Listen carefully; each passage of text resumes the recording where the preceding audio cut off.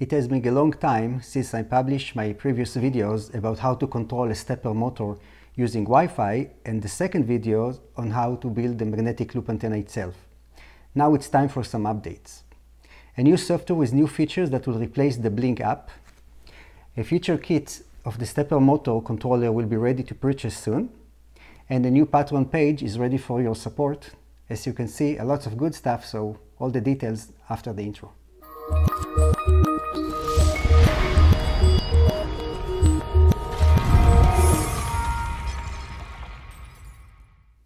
Hi, I'm Tamir N6JJ and welcome to the Reham Radio channel. It has been a long time since I published my uh, videos about how to control a stepper motor using Wi-Fi so we can control a capacitor to tune a mag loop antenna and the second video on how to actually build a mag loop and use the Wi-Fi controller system. I was amazed at how successful this project was as I got so many views, so many beautiful comments telling me that it helped so many people, personal messages, emails, and even snail mail with questions, requests, and suggestions. So thank you all. As a reminder, when I started this project, all I wanted to do was to solve my own problem on how to tune a magloop remotely from my station without running special control wires to the antenna. I learned that this was a big problem for so many people worldwide. Then an issue came up. The Blynk app that this solution is based on has been upgraded from version 1 to version 2 with no back compatibility and lately the apps themselves were even removed from the Google Play Store and the Apple App Store. So anyone who wanted to build this uh, project could not do so and was blocked. Many people contacted me and asked for help, so this is my first update. I'm happy to announce a new software. It's a solution that will solve all the issues from the first version and will even add new features. It's now an independent application it means that we don't need to download any third-party application like the Blynk. It's an independent application that runs only inside the ESP controller itself. It can run from any device with a browser. It means that you can run it from your smartphone, your tablet, or from your computer at your station. No need for any internet connectivity. It means that you can run it on, uh, even on a field day or even under emergency situation with no internet connectivity at all no hard-coded Wi-Fi credentials. I've implemented a way to help to configure the Wi-Fi credential using a simple UI and even an option to reset this credential at any time you want without need to update the code and deploy to the each time. It is ready for new features. Since it's independent, it will be easy to update more features easily and I do have some surprises under development now with new features, so please stay tuned, subscribe and follow this channel as new updates will be released very soon. Let me show you a quick demo on how to use the new software. So now let me show you how the application is working. We have the left and right buttons that will move the capacitor as long as we are pushing the buttons. And we have the scan that will operate the capacitor until we will stop it. Then we have the slider. The slider controls the speed. If you run like that, this is fast, this is slow. Let's put it fast. This is for fast tuning. And if you want slow tuning or fine tuning, just put slow and it will go slow.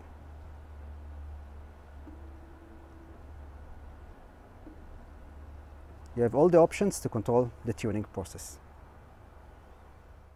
Okay, so now let me show you how the Wi-Fi manager works. After you uploaded the new code to the microcontroller, you will see that in the serial monitor, a new web portal is up and running.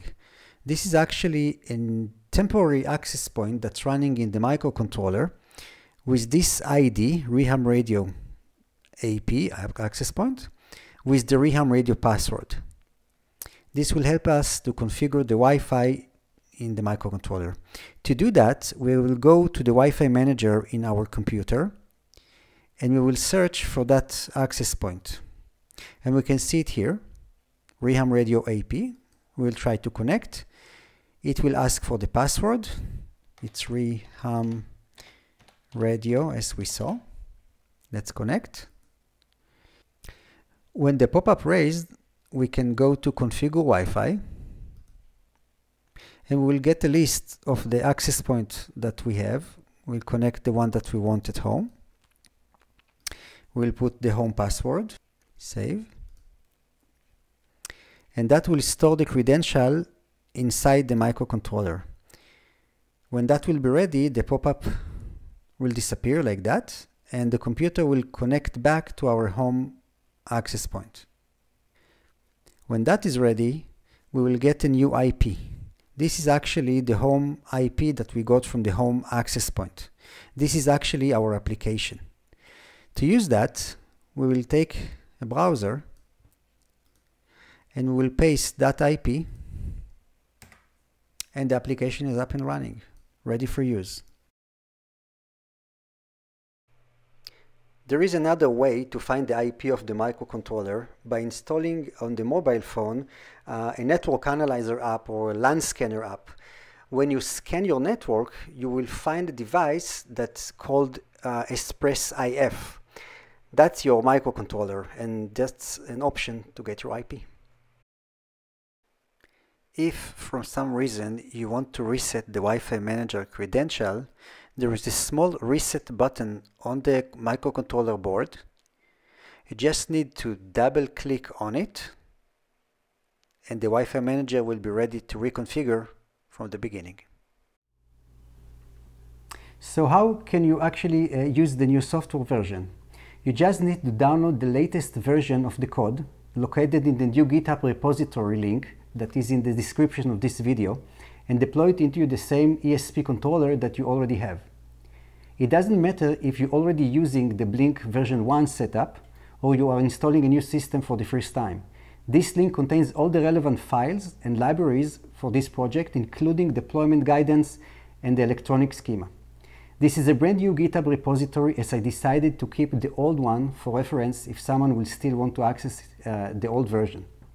Please remember, this is only a software update that supports the current hardware configuration that you already built. So no hardware changes needed on your side at all. The new software is now available to download. If you always wanted to have this kind of solution and you don't want to actually build it, this update is for you. I learned from so many people that they do want to use this kind of solution, but are not comfortable to actually handle and build this kind of project. So I'm super excited to update that I designed and built a new kit for the Wi-Fi stepper motor controller that will be ready to purchase online. Please subscribe and stay tuned to this channel as I will release more details on that very soon. Moving on to the last update for this video is about a new Patreon page that I set up that gives you the opportunity to support this channel. What is Patreon? Patreon is a membership platform that can help me as a creator to provide you more content. It's a way that you can support me and this channel in a way that can help me to continue to focus on designing new solutions, provide new updates and features, help me to continue to support the community and finally show your appreciation uh, for the work that is done in the background. My Patreon supporters will get some benefits like early access to future software updates. I will put a link in the description of this video to the Patreon page so you can review and decide if it fits for you. For any decision, I want to thank you in advance. That's it for this video. We had lots of new information, news and updates. Please like the video and subscribe to the channel to get updates as they are released. Thank you and 73.